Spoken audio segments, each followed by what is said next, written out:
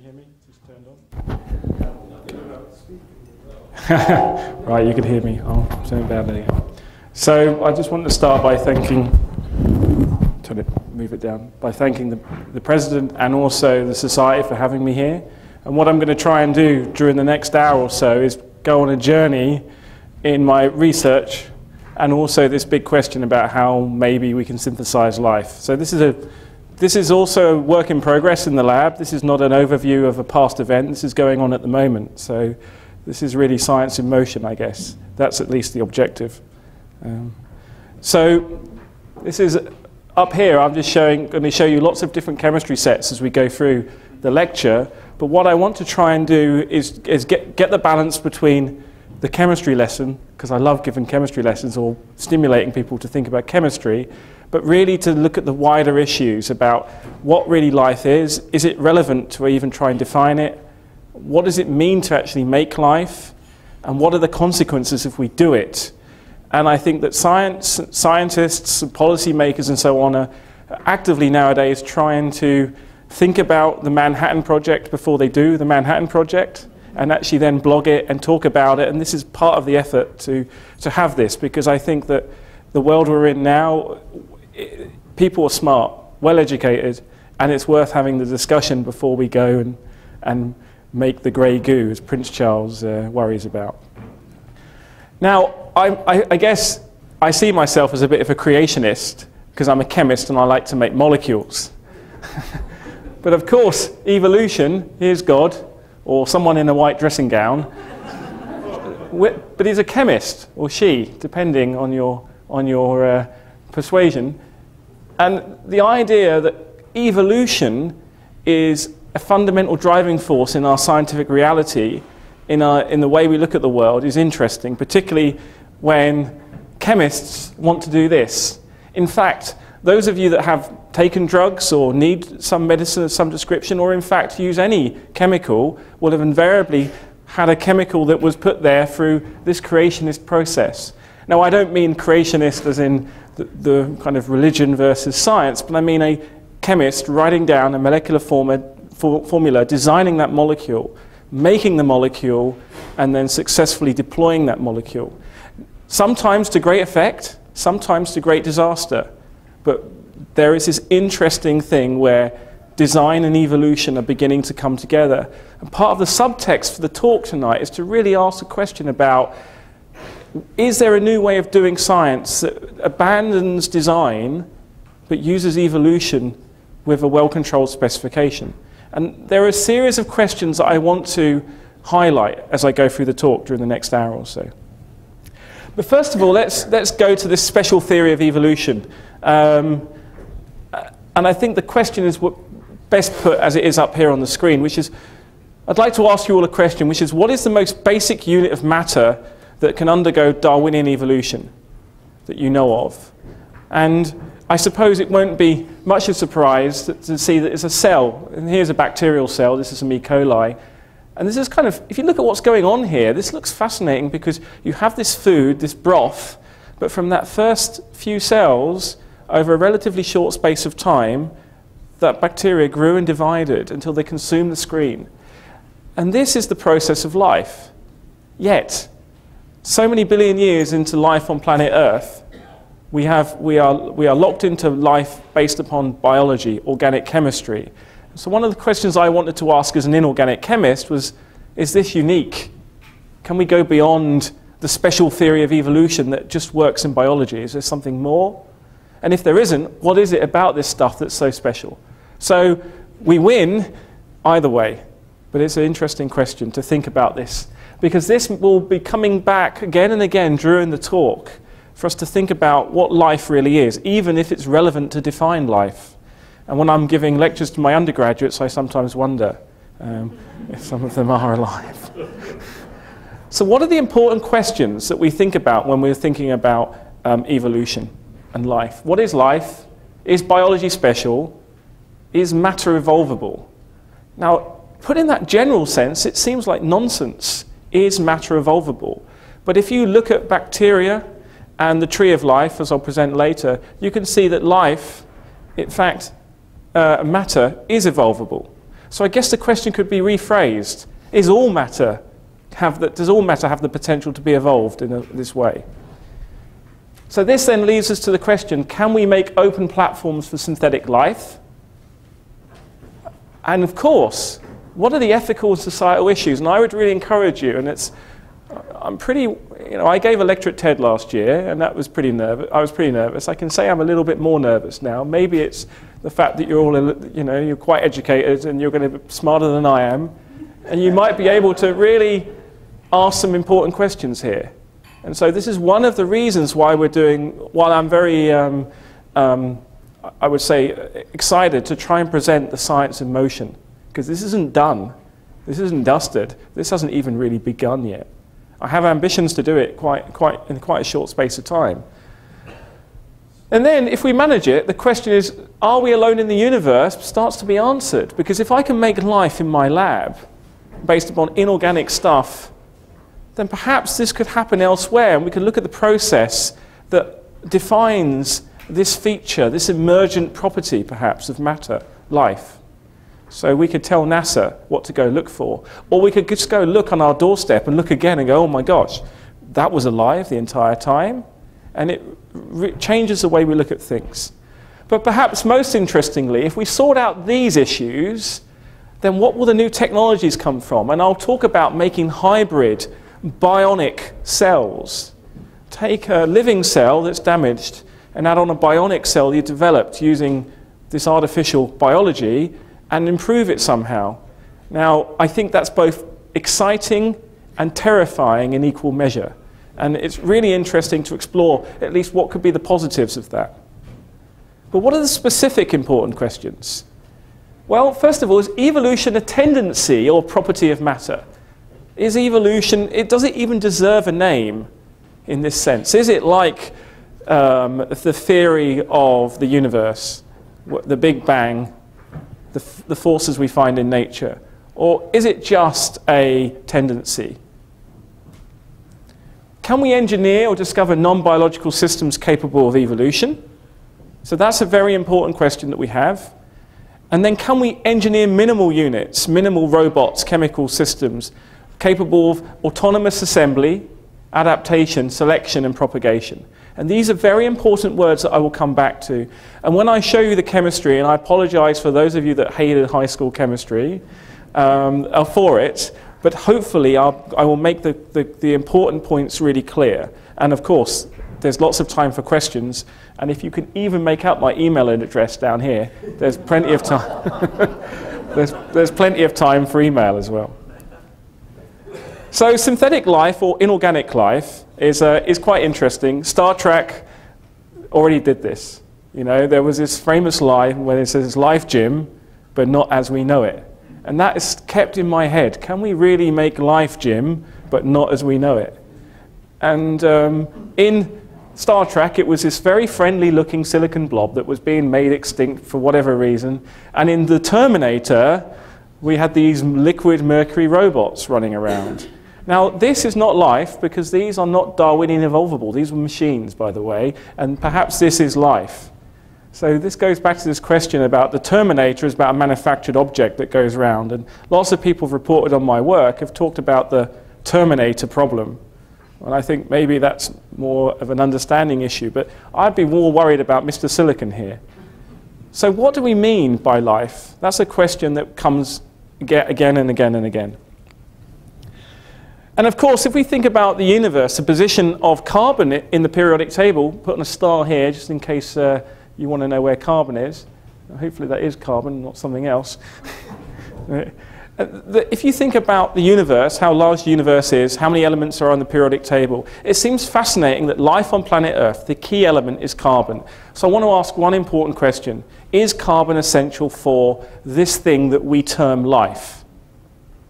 Uh, because if it isn't, then we need to redefine the, how we go and look for life in the universe and perhaps we can redefine the biohazard term to looking, saying, well, be careful, if all matter can become alive, you better watch out, because maybe it's not just you know, biological viruses, there will be inorganic viruses. So when it comes to thinking about life in the universe, we know how old the universe is according to the, the current status of cosmology, and we, we think about life.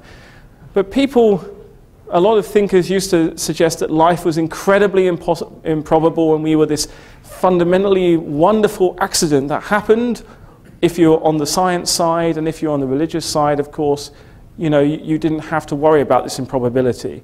Now, I'm not really I'm not really worried about the nature of the religious versus science debate because I think that's not appropriate here. But what I think is interesting is to think about how life could arise from nothing. Are we this fantastically improbable, or are we, as I'm going to argue today, um, so, so, ubiquitous, it's, it's, it's fascinating that there is life everywhere and not just on Goldilocks like planets that we term Earth? And how would we go and find it? How would we look for that life? So really that we're going from this to cell, cell division in the universe is a fantastically wonderful thing. And if, if, um, if I get the chance to kind of really get it across to my kids how incredible science is, you can study this and you can study this, but we can't link the two. We have no idea. We can uh, engineer the cell, we can do all sorts of wonderful things with biology. We even think we know where this came from, but we have no idea about the origin of life. Zero. Now, just think about that for a second. We've spent all this money on cosmology, all this money on biology, but we don't even know how the chemistry that put us here has got here.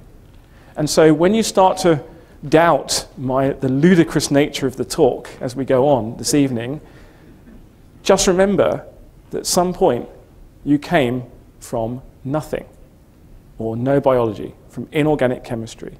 Because per definition, before biology, before organic chemistry, it could only be inorganic.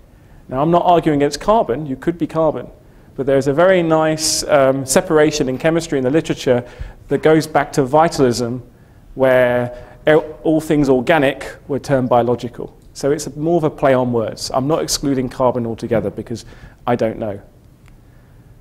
But let's ask what life is. Life is featured by very complex reaction networks. Here's a cell, lots of metabolism outlined, nucleotide, nucleotide biosynthesis, um, phospholipid biosynthesis, transcription going on all the time, protein synthesis going on all the time. A cell is a, is a, is a compartment in which many, many different interconnected chemical reactions are occurring simultaneously. And it has inbuilt redundancy. So there's some very interesting features about cells that we could learn for our own society. That basically if one fuel source is turned off, another metabolism, metabolic pathway gets turned on. You, can't, you don't just need to eat one type of food, you can eat many types of food. So biology is adaptive. Just think about if we can make a technology that could adapt and use certain raw materials from the environment according to the pollution and, and help use some universal energy source, the sun, to clear up our environment. So that's one of the potential uses you can start to think about if you can make artificial living systems. But also life is characterized by this vitalism, this this fact that you, you burn fu fuel and you're warm and you dissipate energy. And in the process of that energy dissipation, your cells divide, you grow, and that, that you are able to think and do things. And we still do not uh, really understand this gap between energy and living systems. Too hot, and there is no sophistication for order for life. Too cold, and nothing happens. So there's clearly a very interesting boundary between life and non life defined by the dissipation of energy. And so there is this thing in physics, what I was discussing earlier, that in physics, we don't really understand why physics is not um, uh, irreversible as written on the page. Some physicists would argue it is irreversible, but there is no, the arrow of time in our universe comes from the second law, which comes from chemistry. So there is a gap in entropy between physics and chemistry, and there's a gap between chemistry and biology, because we don't know how the hell we got to biology. So I wonder if those two problems are connected. And maybe by doing this research, we will start to be able to tease that apart. What is it about physics that connects the arrow of time, the fact we're here, there's time at all, and what is it in chemistry that can give rise to biology? And so Darwin mused that life arose on planet Earth in a warm little pond somewhere, and that's not such a nonsense idea. But how did it arise? I don't see life arising in the warm little pond I have in my backyard spontaneously. Well, actually, I do. But, but that's because it came from life already there, and spontaneous generation doesn't occur. And, and so we're going back in time because for many years there were lots of discussion, particularly from Pasteur and Lister, about spontaneous generation. Bacteria can come from nothing. Well, that was clearly shown to be false. And there's some beautiful um, experiments done where sterilized air was taken from different uh, um, um, um altitudes and the presence of bacteria interrogated. And so, what I'm advocating is actually that we do get spontaneous um, formation of life. And we need, to, we need to understand how that is so. So, to think about that, we need to really think, put in context for the time, because most people say, well, number one, life is fan fantastically impossible. We are so improbable. We are such a miracle. It's a fluke. And the, the, then you look at the age of planet Earth, and planet Earth is about four and a half billion years. But then when you look in the fossil record, well, actually, we have evidence of life four billion years ago. So we have four and a half billion years of life, three billion years of photosynthesis, 1 billion years of multicellular life, and 200,000 years of humans. So there is a lot of stuff going on in here. So life arose quite quickly in planetary terms, basically as soon as it was cold enough um, and maybe the, the meteoric bombardment had ceased. So what happened in, the, in the, those half a billion years? And this is the quest that I'm going to talk to you about in this talk. So let's, let's all become creationists. And again, I don't want to get into a religious debate here, but it's really interesting just to think about probability. Because the number one reason that people give you that, um, that life, and it actually, it's so nonsense, it's not even worth discussing, but it serves an argument, a scientific argument I want to give you that's really interesting for me. So the, the idea is put forward that biology could not spontaneously arise because it's just fantastically improbable and you can't make proteins through evolution. And we've got, now forget the details of this calculation here unless you're really, you really want it, but just take polypeptide with 101 amino acids, 100 linkages. And then if you look at the configurational probability of that, it's really quite small. And in fact, K the, the equilibrium constant for this is 10 to the minus 338. Um, uh, zero to you and I. so, oh my God, proteins can't spontaneously exist. That's terrible. That means life couldn't arise in the universe.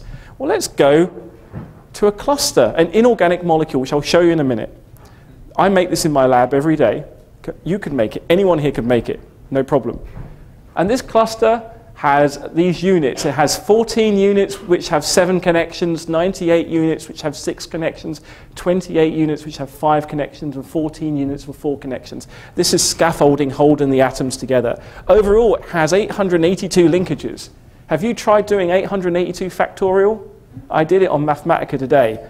I couldn't even get to the calculation. The probability is zero in an infinite, infinite number of universes. Yet, when I take a flask in my lab and I put in a chemical called sodium molybdate. It's just a, a salt of molybdenum, and I add in some reducing agent and ascorbic acid, some electrons, and some acid, some lemon juice. What I get in about 100 milliseconds is exactly this a cluster, a wheel, you see it turning, with 882 atoms connected. Now, again, I didn't see the hand of anyone there other than me putting it together. Now, um, I'm kind of ignoring one fact, and one fact I want to show, share with you, and that is random processes don't give life. Some kind of evolu evolutionary process gave life. And how did that occur? There was no evolution there. Well, in chemistry, we have the periodic table, and there's a rule book down there which says, oh, no, you can't have just any number of bonds. You have to have a prescription and actually, this prescription is controlled by the laws of physics and quantum mechanics. And in my lab a few years ago, we were able to work out the mechanism for the making of this wheel. This is a simulation of what goes on in the solution. All these building blocks coming together, coalescing. We in, we put a template which forms, which naturally forms very quickly. The wheel forms and kicks out the template. We published this paper. In fact, it was when I was quite young and, and desperate to kind of get into general journals, and this flew into science. I couldn't believe it. And it was put on the front cover because and having an inorganic molecule on the front cover of science when normally there are dinosaurs or aliens or something is, was really for me a, a, a nice touch. But what I would like to draw your attention here is to this red thing. This red thing is a, is, it's a molybdenum atom in the center, and they're oxygens, but you can see the connection, this triangle here. These connections are put there by the periodic table. It's a non-random process. There are rules. And when you have rules, you get order. And so for me, although I'm not ba creationist bashing per se, I'm trying to show that the probability, it, it, it's actually a realistic question to ask. But when you think about the non-random nature, something beautiful happens. And so what I'm trying to say in the context of this lecture is maybe there are some rules in inorganic chemistry that give rise to some order that eventually gives rise to biology. And I want to kind of put a roadmap in front of us that we can go down. So that brings us to the origin of life intelligent design, direct and indirect, or emergence of chemical complexity um, to biology. So the primordial soup here, this is a good source of 20 amino acids apparently, or we have ET. And so the ET is not a relevant issue here because it's just doing what the Europeans are doing right now with deficit. We're trying to pass it on to someone else. It's like... It's almost like playing musical chairs, right? And everyone's like trying to get Germany to not be left out. But anyway, I will talk about evolution in the European Union later, and I mean that in a really serious context. So we have th this two kind of suggestions that someone intelligent put us there, and that's not a stupid suggestion, um, because I can imagine humankind trying to put synthetic life into the cosmos to survive beyond planet Earth um, being consumed by the sun. Because we're not all going to get in a rocket and wander off. The only way we're going to tell anyone we were ever here is perhaps by seeding the cosmos. So it's not so silly. But I'm hoping at some point life had to come from nothing, because otherwise we were one big merry-go-round in the universe, and um, we really don't exist. Think about the causality. but there is a problem with the origin. We have a chemical soup four and a half billion years ago. This presumably gave an RNA world, proteins are DNA, our last ancestor, and this is the bottleneck that we can't get beyond. And then I can see that then we get evolution, and then you have a white tie. so, so, so evolution is a biological thing, we are told. It's not a chemical thing. And I guess that is a very interesting question about the nature of how chemistry got to biology. We just don't know because we can't see back because our telescope is stopped. This is why it's easier to come up with the origin of the universe because you just put just. It's quite hard. You just look into the universe, collect light, and go, oh, yes, of course, that galaxy is moving away. And because they're moving away, we draw a point. Yes, and we started there. You can't do that. well, probably you can't do that in cosmology as well, and there's another event we can't see. But at least we have a model. We don't even have a model. And that's the key point I want you to take away from this. There is no model yet that gets us from something, from nothing to something. There's, of course, the RNA world. RNA is this fantastic molecule that makes itself, can catalyze reactions, and just basically starts life. But the problem with this is we almost have to go back to my probability argument. You have to have a lot of RNA arising somewhere, and it takes time. And I think we can prove that life had to arise in a few years. In fact, I think you can make life in a few hours. And there are really sound reasons for that crazy, seemingly, uh, uh, assumption. There's a lipid world where lipids spontaneously form into cells, and these cells then accumulate some complex chemistry, and then boom, you have a living thing. But that's not very satisfactory either. There's also the inorganic world, which we'll talk about, where you just have minerals, growing things. These are actually tubes I've grown in my lab. They look very lifelike, but they're, they're all inorganic. They're just whiskers growing out of crystals. And so there are lots of different suggestions. So my suggestion of the inorganic world doesn't stand alone. There are lots of other ideas. And one thing I, I, I don't want to necessarily apologize for, but I want to acknowledge, it, there is a vast um, uh, um, literature in primordial chemistry, a vast set of ideas going right back to Oparin, Haldane, Miller and Urey that we'll talk a little bit about. But they all made one assumption, that life was based on carbon. Wrong. They're wrong. And I'll tell you why. The emergence of life was fast. And this is the, you see, this is almost like these, uh, uh, um, you know, you can take this drug, it's going to cure everything, but do read the small print. But the emergence of life is fast. If the emergence of life was fast, then probably it couldn't have been based upon carbon, because carbon's pretty slow. And there is a reason why carbon's slow that I'll explain. But we need a maximum of 500 million years for the first cell. Um, but the timescale for chemistry, most chemical reactions I know is milliseconds to hours, even with pretty slow carbon reactions. Um, but if we're thinking about evolution as a driving force for life, this rapidly changing environment means that replicator stability has to be found or established within hours. Now, there's a word I'm using there, replicator stability, and I'll talk about what I mean by replicator. And in fact, what I'm going to do over the next 45 minutes is just give you the recipe for life, and then I'm going to tell you a secret about the way we're trying to make it in the lab, and then open to questions for your opinion. And I will kind of try and make a, a gesture to the, to the camera that this bit's not to be put anywhere near the world yet, because it's a secret between us. Now, here is the once the conditions were right. And you're saying, oh, that's a cop out. I'm not saying no. Imagine, I don't know, a, a, table that you're tilting with some water on it, some sand. And you, or, or imagine, maybe more realistically, one of those games where you've got some ball bearings and you're trying to get them through the holes in the maze. And once you've learned how to do it, you can do it in seconds. But if you're going to just do it randomly, it could take hundreds of hours ran randomly, i.e., my son, before he'd worked out that was the answer, and myself doing it. Probably the other way around. But so I guess what I'm trying to say is that the emergence of this, um, this system, this first living system, could take hours. And what we're trying to do in the lab is actually come up with a way of screening the possibilities that maybe took 100 million years in a few hours. Before we go there, we, I just want to show you the tree of life where we have some kind of our ancestor down here and we go up through bacteria, archaea, and eukarya. And I guess this, this persistence of this tree of life in biology leads virtually everyone to conclude that we do have a common ancestor. But actually, if my theory is right, you may not need it.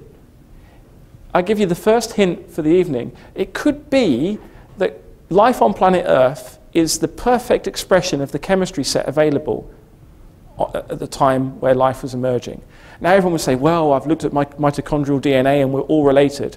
Well, that's, that's provable to a degree, but actually there are issues with statistics there that may allow us to find creatures that may not all be descended from exactly the same uh, uh, um, piece of DNA, that the last common ancestor may be few, and we just all zoomed in on four base pairs. Wouldn't that be amazing if actually on planet Earth, the convergence to our biology is the answer for life on planet Earth? And that is a, that is a point that I want to try and make. So, how do we get there, and what do I mean by life? And I'm going to keep talking about this minimal Darwinian evolutionary system. Why is it important? important? Well, life, I would suggest, is only about replication in a Darwinian sense. So, what is Darwinian evolution? You have an object, it replicates, the offspring from that object compete in an environment, they either persist or they die. They either exist or they're eaten or they get taken out of the, the system. When they then go on and they then replicate, they may mutate. And that mutation, that error, can be copied and that copying we will talk about because that process allows it to accumulate information. Just in the way you try and tell your children to watch both ways before they cross the road and do all sorts of other things, you try and give them information to be fitter in the environment. That's the biological equivalent. Darwinian evolution allows you to accumulate information about the environment. So life is, well, it arises in a system energy source, reactive building blocks. It's a symmetry breaking process to lead, to lead more specialized processes, but probably more importantly, it's a cooperative process emerging leading to spatially and temporally correlated events, interconnected networks dependent on others. It's like the European Union. It's like you have one, or a legal system. It's like interdependent features that are built upon one another. You have baggage built upon baggage. So, what is evolution? What are the observations we can make? It's a gradual development of something simple to more complex form. I will walk over here and try not to fall off. So, if you look up there, that's Charles Babbage's counting machine. That's a typewriter. This is one of my favorite personal computers in the UK, the ZX Spectrum. This is a Toshiba laptop. This is a Dell laptop. And anyone know what that is? Macintosh? It's a black and white iPad. it is that for me, it's the top of the evolutionary tree in personal computing right now. So now, of course, they're not linked to each other by biology, but they're linked to each other by the transistor, and they're linked to each other by the desire for the consumer to buy them. And so this is kind of a metaphorical evolution. But also, it's a process by which matter becomes more complex and you have survival of the fittest. But it requires a body, information, and environment. And the body can either survive or die in the environment. Morphological, chemical persistence if you don't like life. So it's a thing that can exist. So, what, so it's getting late, and there's the, the really cool chemistry is to come. So I, what, what I want you to have in your mind at this point is that life doesn't necessarily need to be based upon carbon, and that perhaps life is better defined by the, the ability just to, do it to evolve, and that evolve requires stop, go in the transmission of information. Those informa that information must be carried in a, in a molecule of some description. And so in biology, we know we have RNA and DNA. The question really is, what molecule of chemistry can we get? And I already showed you part of the answer with this wonderful, strange looking ring stripe cluster. So evolution is the driving force. It is the process by which that we are, we are here. So how can we engineer evolution in the chemical world? And so we take our inspiration from biology, and we need to establish the competition. So in my lab, we're trying to set up a situation where we have molecules competing with each other. Again, I don't want to get into a religious, we have to then do some design, and then some system design. And the key thing at the end is we have selection because of course there is selection going on in evolution. So the emergence of life perhaps is a question of scale. The planet became alive, but what about if we think about the ocean, this pond, the beaker, the test tube, the oil droplet, and the cell? What is the relationship between these scales, and how can we use them to find life in the lab? Because what I'm trying to point out here is a, a way of actually coming up with life in the lab what I'm suggesting is nothing less than going into my lab one day, doing the chemistry, and a cell coming out the next. So how do we do this? Well, Miller-Urey, well, uh, in 1953 had their famous experiment where they had their bell jar, they had a reducing atmosphere with the components for amino acids, they boiled it for three days. In fact, they were so excited they stopped it after just three days and they found amino acids. That is still an amazing experiment. It's really obvious, as my son would tell me when I tell him something profound. it's really obvious, but it wasn't obvious at the time that chemistry could give amino acids. And so what we're trying to do in my lab right now is trying to network different reactions together to try and establish this living dynamic. Now what we're trying to do is take systems that are complex spatially. This is a BZ reaction in a Petri dish. You can see the swirls. This is a, a very complex chemical system um, giving rise to oscillations. This is something that we discovered in my lab as well. If you look at the screen here, these are crystals where we've just sprinkled some salt on, like salt you'd put on fish and chips. But something very odd is happening. These crystals in real time are, are growing these, these, these tubes you can see quite fast. And this is really fascinated the PhD students that something dead like a crystal could suddenly start to grow these fibers that could go all over. And these fibers are hollow and they sustain themselves. So this is a crystal that's growing this inorganic tube. The molecules are firing out here to prove that if we cut the tube with a manipulator, it grows again. And, and if we break it here, if you look carefully, right, look at this, we break it here, it stops, and the pressure is relieved here. this chemistry is being refabricated in real time. Now, what I'm going to try and do is now set up the chemistry set and make the links. So we're going to try and make our life, or attempt to make life based on molybdenum oxide. This is made out of molybdenum oxide, and I'll explain why it's good. When we do this, we want to kind of say, well, we're trying to build a bridge between chemistry and biology, that we're going from life to simple life through some magic. So magic is here, evolution is here. What is that magic? What is the gap between non-life and, and simple life? Well, we need to make cells, and this is because cells allow us to keep stuff inside. We have all this thing, information, metabolism, energy, replication, distribution. But really, it's late. We all know what a cell is. But also, in that cell, we need to somehow put in a molecular network, take a bunch of molecules that interact with each other and put them inside and get them to interact. We need to understand the energies required. We need to understand the molecules that are reacting with each other. And we need to understand these words, catalysis, autocatalysis, and replication. Well, someone that's able to make to, to make something really fast is a bit like a catalyst. If they can make it really, really fast, in fact, the more things they make, the, far, the better they get at it. It's a bit like a banker, then they're autocatalytic. Um, and there's nothing against bankers, just they're very good at making money, some of them. but we need a system level response. So we need some kind of emergence. Now, rather than giving you the set theory, because it is late, here you can see molecule A, molecule B, molecule A, B, different combinations. If all these molecules can exchange the A's and the B's, can you see that you can make a quite advanced little network without very much stress? You just need two things, and you need to be able to get them to link together. This is called an autocatalytic set, or for you, or for me actually, this is called a Ponzi scheme. But well, now the reason why it's a bit of a Ponzi scheme, it's is because there's replication built upon the, the emergence of some dynamic comes as a result of the things within that dynamic. And if you withdraw, withdrew all the building blocks and all the matter, that dynamic would not occur. And so that needs replication. Now, this is really the hub of the story. Everything else from here is about establishing the dynamics I've talked about. So if you're tired, it's all downhill from here. It's going to get fascinating chemically.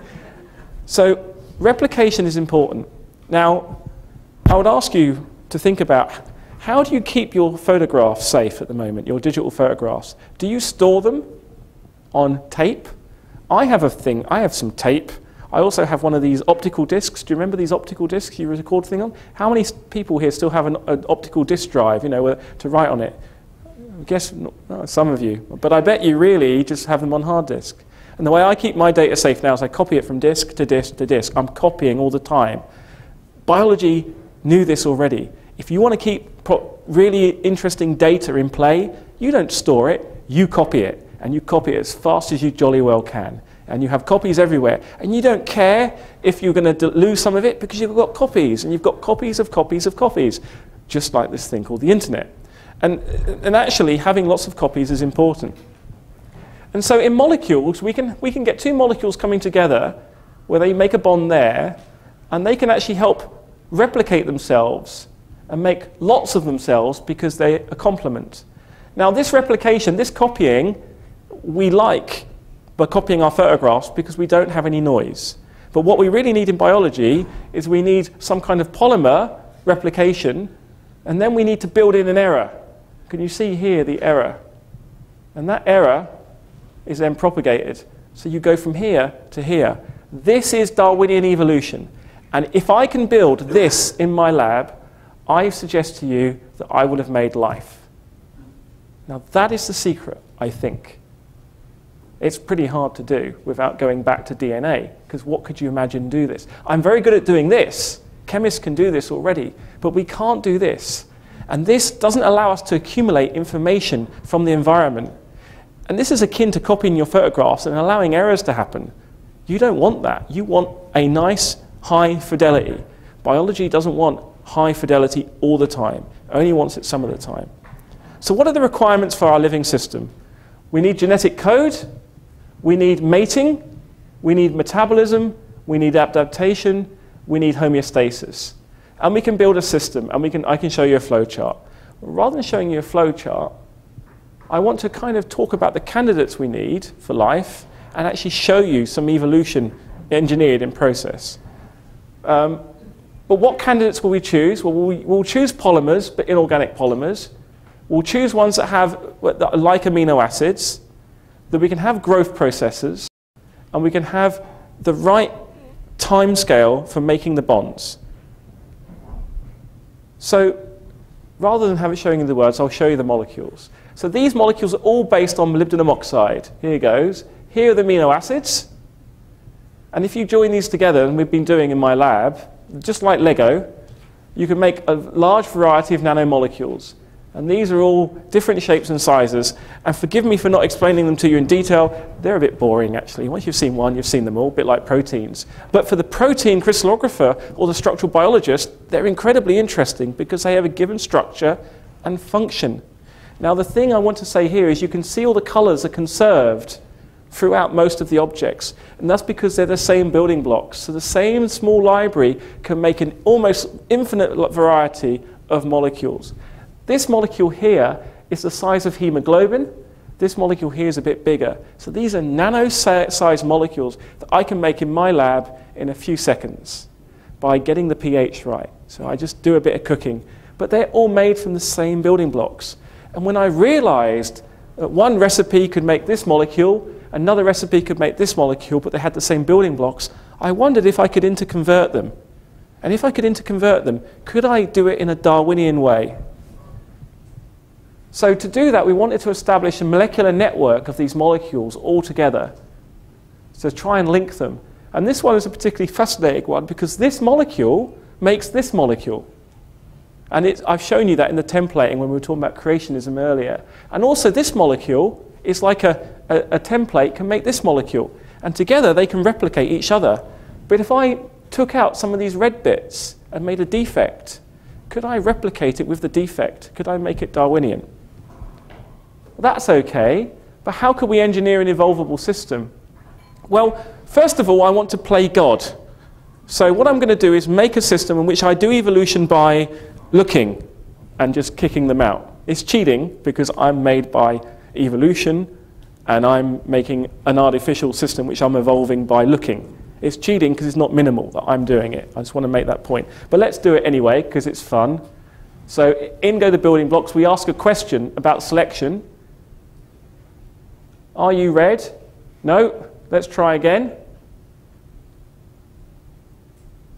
Yes, you're red now. We'll keep you.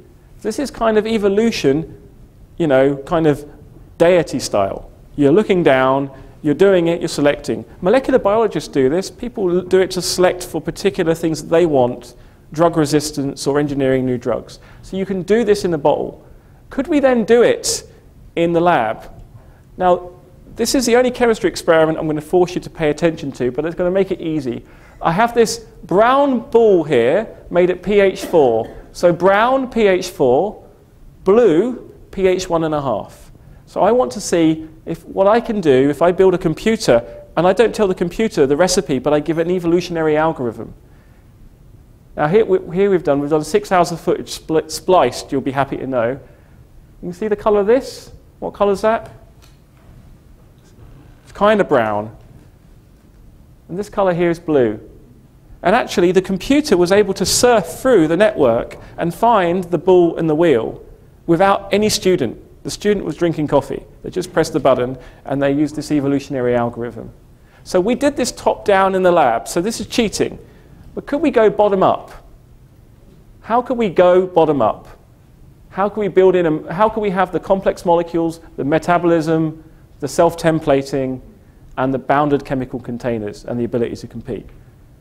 Well, what we needed to do was embed different networks and have a different molecules with, say, two building blocks at generation one, three building blocks at generation two, and so on, where we could have this um, crossbreeding. So we take the polymers, mix them together, comp competition, propagation, and the idea is that we would see a kind of evolvable material process going on.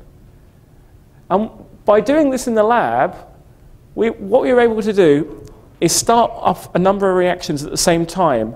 So let's just say we started reaction one, and it's really like cooking. So if you like to cook a particular flavor soup and you make tomato soup, but then you say, oh, well, I want vegetable soup, and you start cooking your vegetable soup over there, what we actually start to do is move the vegetable soup in the tomato soup, but the vegetable soup conquers the tomato soup and makes vegetable soup Mark II, because the information from the soups gets mixed. And this is what we're doing here, and I'll show you this in a rather more, now I'll skip this because this is just, this is just nano fantasy land, and I'll show you, here we have our first soup, our building blocks, and they make this molecule. But then we get this molecule if we have these building blocks and this template. Can you see the relationship? Can you see they look similar? And we carry on, and what I'm showing you now is the first example, I think, of molecular evolution in a flask. Can you see the, the DNA, this template, this square thing here? It's rotated here, it's not rotated here, it's hybrided here. And if we did each, any of these reactions, we made any of these soups and we didn't put the soup in before, you'd just get that. So if you just get that, you need to put it back in itself with this to make that, back in itself to make that. So it's like a dependency. It, each one grows. So to make that simple, here is the, the inorganic genetic phylogenetic tree that we make. And this, for me, is really exciting because as a function of time, I can show that this is my kind of building blocks of life, if you like, analogy in the inorganic world, um, uh, and then the different branches off the tree of that life coming out. So we've started to make this network, but that's not good enough. That's just a structural similarity. But I hope you can see that, that there is a relationship in the, by the pictures. You can see these square things and how this thing, at least graphically, looks similar to this one. There's two of those together, can you see? And this one is expanded out. And this one's a defect one. Can you see? It's not so pleasing to the eye. It's, a bit, it's got a bit of a lumpy bit over there. So that's kind of, you know, I don't know what would make the analogy. I have to be very careful if I say it's like I could do it with football teams in Scotland and then I would get, be okay. So, now if I could tell you, this is where it gets really interesting. The fact you're awake is great. I'm now going to show you how we take these molecules, and when we put them at, water, at an interface, something really strange happens. So we're squirting in the molybdate, the same stuff that makes the molecules before makes cells. And actually, we can put stuff in the cell and do reactions in the cell.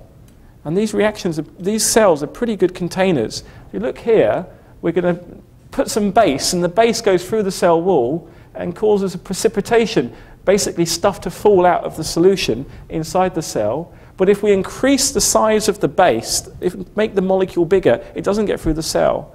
So we're able to take the same molecules that make themselves, like the ring and the network, and make cells out of the same molecules. Everything is minimal. It's all come back from molybdenum. So from molybdenum oxide, we can get all these levels of features that remind us of biology. This is what they look like. Here is a physical, so you can see there's a real barrier there. You can see we have some acid above here with an indicator and a barrier, the cell, the, the membrane, and a clear solution through there. And after a few hours, what happens? We can even make them like you would uh, using, a, using a special device. So we're not just using an injector, that they can be made autonomously by squirting through a small nozzle, almost like a gap in some sand. Here they are. Now, here's a wonderful thing. When you shine light on them, they go blue. So when you shine light on them, these things are able to charge up like batteries. Um, and they do a reaction. This reaction is responsible for all our fossil fuel. It's called water splitting, and these, these cells also do water splitting.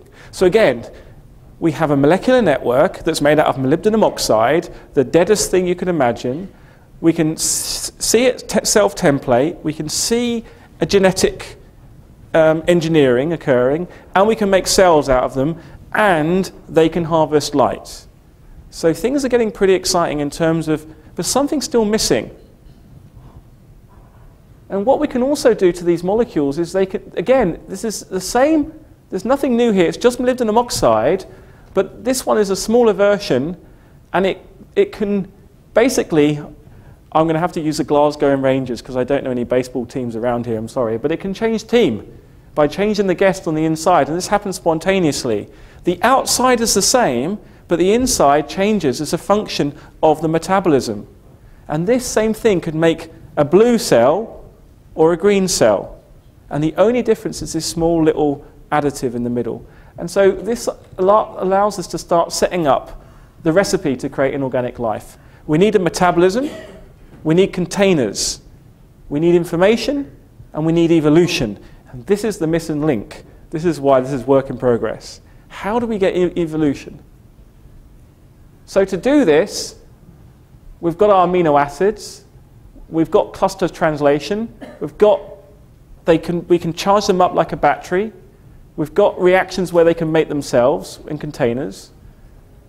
So what we're going to do now is I'm going to show you, and this is the thing that I'm going to make the magic wave to the camera person and say, please don't broadcast it yet. And I'm going to show you the four experiments we're looking at making in the lab. And this is ongoing at the moment. And, and I, the story is quite nice. I have a pretty large research group. I have 40 people in my group. And I've been, the group has been growing for the last 10 years. And this has been my master plan the whole time. Not quite to have 40 people, but um, I wanted to get to a situation where we could look at this area of science. But none of them knew what they were really working on until last year. So I'm like Dr. Evil, you know, I'm going to buy and sitting in the cave, you know. But it wasn't like that. It was because I didn't really think they'd take it seriously, and I, I didn't want to really risk their careers on some crazy professor trying to make life. And so they all have day jobs, but they all, all these day jobs are convergent technologies. So I, I'm doing what the funders asked, don't worry, I'm not running off with the money because I have some NSF grants, or actually the UK is giving me money because the NSF has given me money. And so they're partnered up quite nicely. But they all have a secondary expertise that works together. And it's coming through in these, in these, in these experiments. And I'm going to tell you about what they're doing. So there are four experiments. Um, one is called Life in 5,000 Hours. One is rather um, modestly called Miller-Urey to Cronin. The other one's called Inorganic Chemical Cells. And the other one is called Evolutionary Emergence. And how we did this actually is we, ha we had a, once that I gave the TED talk, they realized the cat was out of the bag. So I gave a 15 minute version of this, a pop science version, where I kind of glossed over the detail and said, wouldn't it be cool to turn metal into living stuff? And everyone went, yes. How? And so this is kind of how we're going to do it. In the lab, we've been do- the, the trick is to do lots of chemistry in different spaces. It seems kind of obvious, but we've never done it before. Chemists normally pick up their beaker, unless you're watching Fringe or whatever wonderful program you have, and you've got and you do your chemistry in a single beaker. What about if you do the same chemistry in multiple beakers at the same time and mix them together and you have your building blocks in different stages of reaction? It's almost like making several Lego kits and then ramming them from one flask to the other and seeing what happens. And this could simulate what was going on on planet Earth with the tide or with some evaporation, or some oscillatory change. And that's important. This has to be at least imaginable on planet Earth. Um, now, this is not imaginable on planet Earth without me, but the flasks, the regions, the chemistry going on. So this is, the, this is the life in 5,000 hours experiment. What we're trying to do is take these building blocks and engineer a network which can replicate in 5,000 hours. And this uses the chemistry from before. Now, this experiment is actually extended in a moment, but I'll now get, get, get next to my hedging my bets experiment, where I had an argument with the RNA world. And the RNA world said you know, that I was being too arrogant, that carbon was, was immaterial. And I thought, maybe you're right. What is wrong with the Miller-Urey experiment? The thing that's wrong with the Miller-Urey experiment is there's no Earth's crust in it. No Earth's crust at all. It's just methane, um, some water, some ammonia, some spark, and there's no sand, no iron, nothing. So we've rebuilt the Miller-Urey experiment, but we've got four worlds. We have a phosphate world, we have a calcium hydroxide world, and we have a silica world, and we, we have a, um, a, a iron pyrite world. I remembered them, few. Phosphate for the phosphorus for your RNA, calcium hydroxide, because calcium hydroxide makes sugars, silica, because we want some sand and some filtering, and iron pyrite, because it's handed, handed and it acts like a battery. So no one's done this experiment. No one has done this experiment because there isn't the chemical engineering and the computer control available when the Miller-Urey experiment was done. And now in my lab, all we've done is we've built a computer-controlled system where we can systematically move the contents of these flasks around, and it, no one understood that the Darwinian replicator is going to be really efficient. Everyone thought this is ludicrous. You could do this, but you'd have to go away for 100 million years. If there's a Darwinian replicator in there, it will take less than three weeks. So th that's kind of interesting. So um, that's one experiment. The other one is these inorganic cells. We're putting together all the building blocks we've seen before, and we're passing them through these microfluidic devices, and we're trying to engineer some evolution. Now, how are we going to do that? Well, this is really getting to the lot. Here you can see some droplets being fused together, and here you can see some droplets being split up. Now, this is rather analogous to combining DNA, and this is analogous to splitting it apart. If we can surf through many different possibilities, we should be able to engineer um, a fusion and diffusion rather like a, a, a, birth and death process. So this brings us really to the, the last couple of slides of the talk, this universal definition of life, and I'll give you what my, I think my theory of evolution is and how, we're to, and how it all fits together. So the universal definition of life is matter that evolves in a minimal way, and the consequence of this is it allow you to have a general theory of evolution that you can design by evolution with all matter, and then we start to move from the selfish gene to selfish matter. You know, what is it about um, the matter that's in biology that makes it more selfish than the matter in your chair? Well, the matter in your chair is not very successful. Will this lead to, lead to new technology? Can we make inorganic life modules? Can we use the evolvable matter in the environment to self-repair, make new machines? Can we take life apps where we actually co-evolve through different environments? So we use software to engineer that evolution, and at the end we can then program using an app to make the, the, the living um, material more useful. So what would it look like? This is the final kind of movie you can, might recognize some of the molecules here. Look carefully. That just made that. The wheel is now here making the template, and they're all flowing around in a beaker. But what you really need to happen is this sophisticated chemistry to encapsulate itself in a membrane. Where people failed before is the membrane had to be added. But these molecules make their own membranes. Now we need them to form different teams. And then the scary bit, the bit that we want to discuss, is once they've all bogged off, what happens to the planet? So the group is assembled around these four areas, making molecules, making hybrid molecules, making synthetic systems, and looking at the term inorganic biology. And this comes to the theory of evolution that we have. And it's really simple, that there is a minimal chemistry set in the periodic table that allows you to form sophisticated molecules that um, can compete and do exactly what you've seen there. But they can't get past a certain level of evolution. They keep dying when they get to maybe when the temperature goes up or something falls out of the natural uh, boundary for persistence. But we already know there's these things called amino acids. And let's just say every time the cell divides, two amino acids were joined together just randomly, a product of that cell division. And some chemistry that we're testing now. It only takes 15 generations for you to have a protein with 15 amino acids. Then suddenly that cell has a protein in it. And if that protein has some function, that cell can persist better than the other cell. And so it goes like this, I think. Inorganic matter, minimal cell, proteins, RNA, DNA, the last common ancestor. And that's what we're trying to prove in the lab at the moment. And, that's the, and that throws current dogma on its head because everyone thinks that RNA came first.